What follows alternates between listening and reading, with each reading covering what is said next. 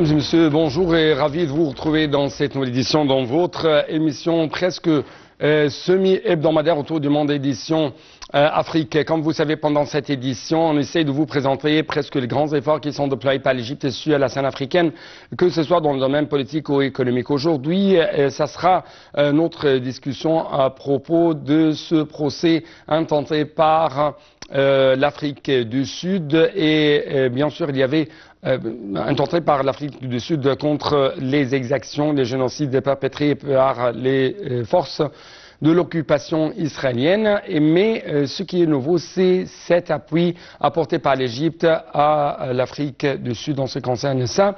Donc, euh, ça sera dans la deuxième partie de cette édition, mais je dois tout quand même présenter ce reportage. en fait, on trouve que l'Égypte a annoncé euh, dans un communiqué publié par le ministère des Affaires étrangères, son intention d'intervenir formellement pour soutenir le procès intenté par l'Afrique du Sud contre Israël devant la Cour internationale de justice afin d'examiner les violations commises par Israël des obligations en vertu de la Convention stipulant la prévention des crimes de génocide dans la bande de Gaza. Les explications tout de suite.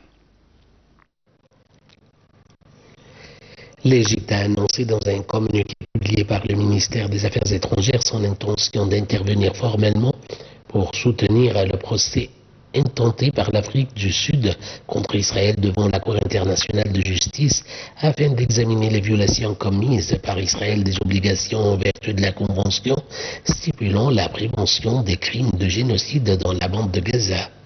Selon la page officielle du ministère des Affaires étrangères, l'Égypte a expliqué que la déclaration d'intervention dans le procès susmentionné intervient au vu de l'aggravation et de l'ampleur des attaques israéliennes contre les civils palestiniens à Gaza, ainsi qu'au vu des actes et pratiques perpétrés par Israël de façon systématique contre le peuple palestinien, notamment des attaques directes ciblant les civils et la destruction des infrastructures dans la bande de Gaza, outre les déplacements forcés des Palestiniens hors de leur terre.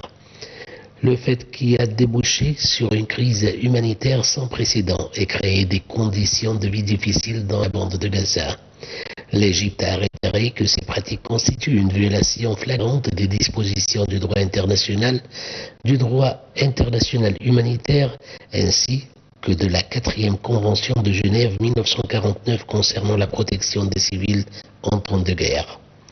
L'Égypte a appelé Israël à respecter ses obligations en tant que puissance occupante et à mettre en œuvre les mesures provisoires émises par la Cour internationale de justice qui exigent de garantir l'accès de l'aide humanitaire et des secours de sorte à répondre aux besoins des Palestiniens dans la bande de Gaza.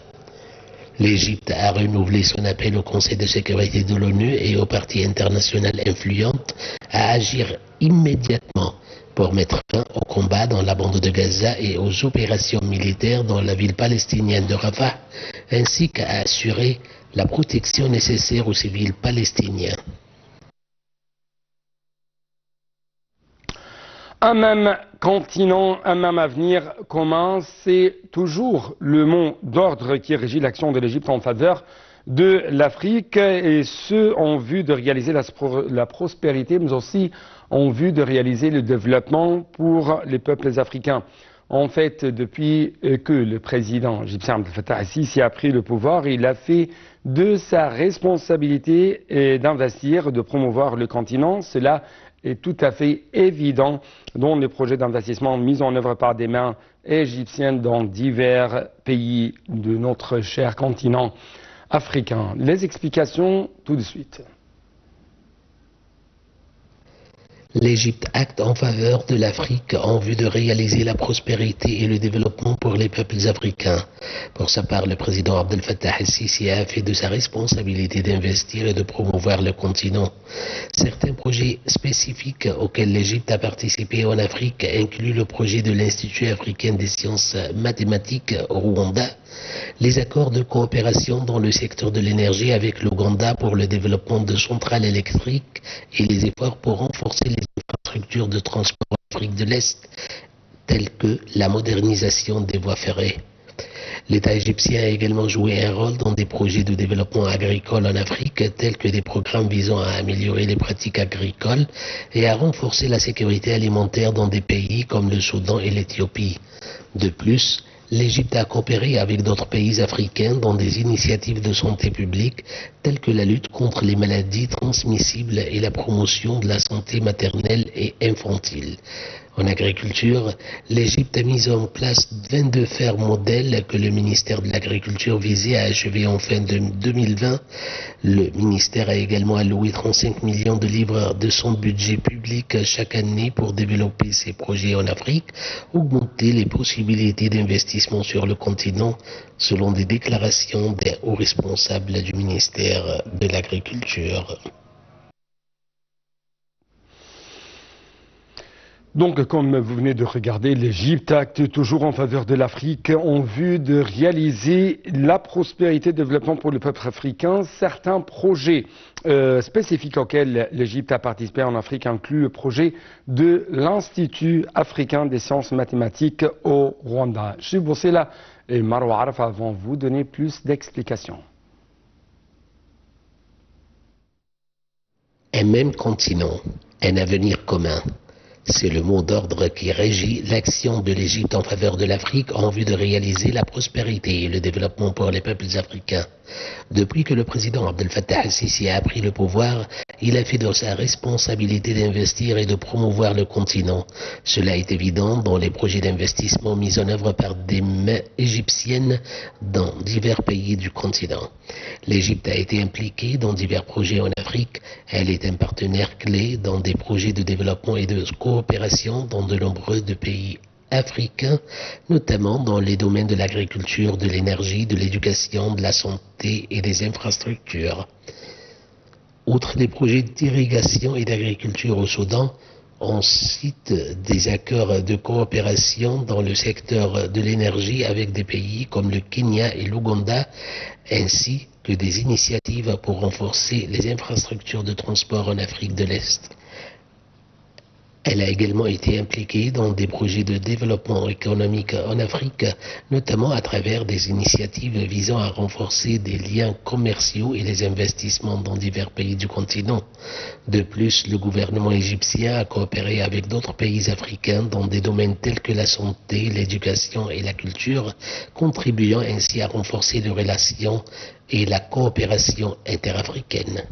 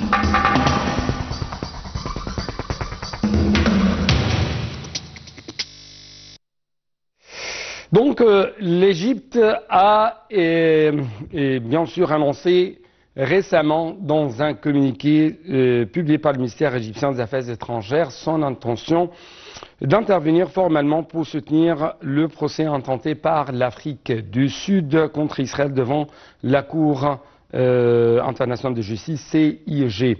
Et ce, afin d'examiner les violations commises par Israël des obligations en vertu de la Convention stipulant la prévention des crimes de génocide dans la bande de Gaza.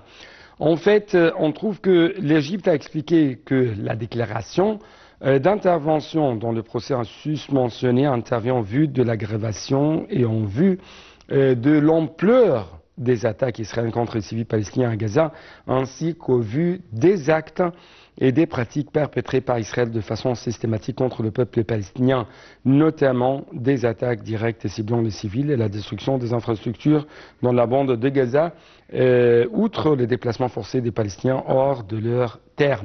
Le fait qui a débouché sur une crise humanitaire sans précédent euh, des conditions de vie difficiles dans la bande de Gaza. Donc pour avoir plus d'explications, pour avoir euh, plus d'éclaircissements en ce qui concerne l'impact de, euh, de telles décisions, de telles interventions de la part de l'Égypte, et de cet appui apporté par l'Égypte à l'Afrique du Sud dans son procès contre l'occupation israélienne. Nous avons actuellement en, euh, ligne de l'intérêt international Monsieur le général Saïd Fathi, expert bien sûr sécuritaire, mais aussi expert juridique. Monsieur euh, le général, vous êtes toujours le bienvenu sur l'intérêt international. Merci beaucoup pour nous rejoindre à travers la ligne. Merci beaucoup et bonne journée. Bonne journée. Bonjour. Bonne journée à vous également, monsieur euh, le général. Et permettez-moi de vous poser cette question. Comment vous avez lu euh, cet appui apporté par l'Égypte à l'Afrique du Sud dans son procès devant le CIG contre Israël et l'impact de ça sur le terrain? Euh, Bien sûr, nous savions nous tous la situation très dangereuse qui se passe actuellement à Gaza et en Palestine en général.